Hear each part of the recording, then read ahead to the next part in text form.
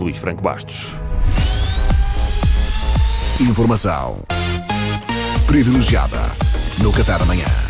Meus Conta lá, caros, Luís. eh, recapitulando, a AstraZeneca, a novela continua na vida real, anda para trás e para a frente. Agora, agora não se pode dar às pessoas com menos de Epá. 60 anos. Então, não percebo bem o critério, mas pronto.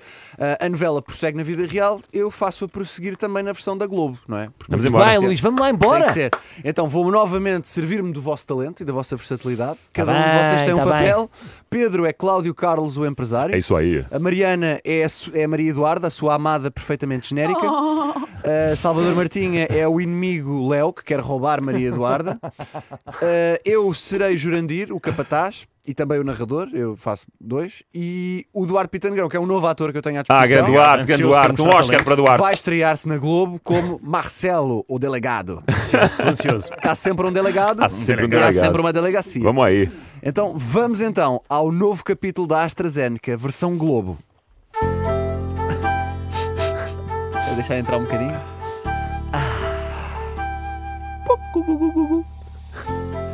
Depois da vacina da AstraZeneca ser retomada, Cláudio Carlos e Maria Eduarda se mudaram para o Leblon, vivendo dias de paixão. Você já viu, meu amor, como é maravilhoso tomar um chopp no calçadão enquanto se pede seu drink e as patricinhas ficam malhando a bunda na praia, os moleques ficam mandando cantada pra elas, tentando paquerar as garotas, em vez de pegar o ônibus para estudar pro vestibular. Nossa, Cláudio Carlos, você conseguiu colocar todos os clichês das novelas brasileiras numa frase só, que maravilha! É isso aí, Maria Eduarda. Agora nada nem ninguém vai conseguir nos separar, Maria Eduarda. A vacina da AstraZeneca que eu criei é finalmente segura. Mas o seu inimigo Léo não desistirá facilmente de Maria Eduarda. É, se eu não puder ter a Maria Eduarda, ninguém terá a Maria Eduarda. A Maria Eduarda é minha. Jurandir, você aceita a minha proposta? Ah, eu aceito sim, seu Léo. Então, você tá me pedindo pra eu trair meu patrão? Sabotar a vacina do meu patrão? Matar um montão de gente só pra descredibilizar a vacina do meu patrão? E você poder roubar a mulher do meu patrão? Tudo isso a troco do quê mesmo? Em troca, você pode ir no Sabor Mineiro, na Costa da Caparica, em Portugal. e comer tudo o que você quiser.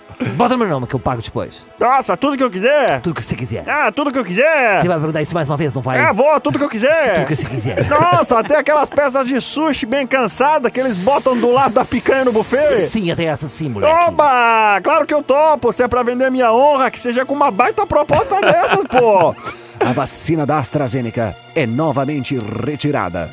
Dessa vez, junto dos cidadãos com menos de 60 anos. Cláudio Carlos, afinal de contas, sua vacina não é pra todo mundo? Por que as pessoas com menos de 60 anos não tomam? Que história é essa, Cláudio? Maria Eduarda, eu não sei o que está acontecendo, Maria Eduarda. Alguém sabotou minha vacina! Cláudio Carlos, você mentiu pra mim! Eu não quero ouvir mais suas mentiras! Eu quero me separar! Não, Maria E Eduarda! agora eu vou ser uma mulher independente! do seu nariz. Você fala demais. Vai, garota, segue seus sonhos. Boa, boa, garota.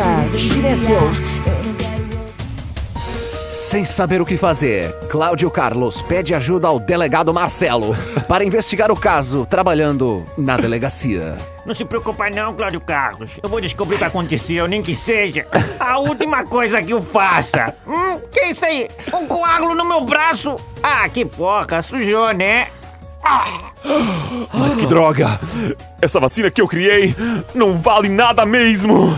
Após a morte do delegado, Cláudio Carlos procura sua amada para tentar reconquistar seu amor. Maria Eduarda, eu juro que eu. Eu não sabia dos coágulos. Eu não queria matar ninguém, Maria Eduarda. Cláudio Carlos, você mentiu pra mim! Eu não acredito mais nas suas mentiras. Essa vacina era muito importante. O coronavírus continua se multiplicando. Não se preocupe, meu amor. Você não pode pegar Covid. Lembra? Lembra daquele drink que eu. Eu sempre servia pra você quando a gente passeava no calçadão, olhando os moleques paquerando, as garotas malhando a bunda. Cláudio Carlos, não precisa falar todos os clichês em todas as falas a toda hora. Certo, certo, Maria Eduarda. Lembra daquele drink que eu sempre servia pra você. Esse drink já tinha vacina lá dentro. Eu guardei segredo, mas foi para proteger você. Mas por que não, meu amor? Cláudio Carlos, mas é óbvio, eu não posso tomar essa vacina. Eu tenho menos de 60 anos. Você tem menos de 60? Sim. Por acaso sempre achei que tinha mais, viu?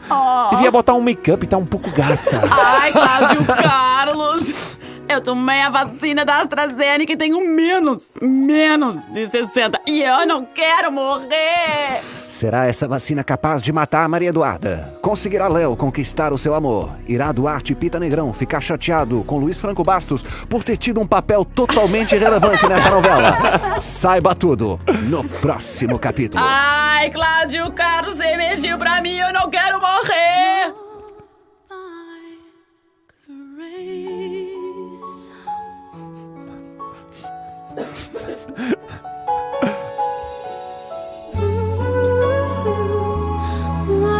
Ó, ó, ó, ó, seu Léo, Fala, Jurandir. esse menu inclui também sobremesa? Tô querendo comer uma mousse, pô. Pode comer, garoto. Ah, você lembra no primeiro capítulo que a Maria Eduarda tava grávida? Sim. A gente cagou só, né? Eu menti pra você.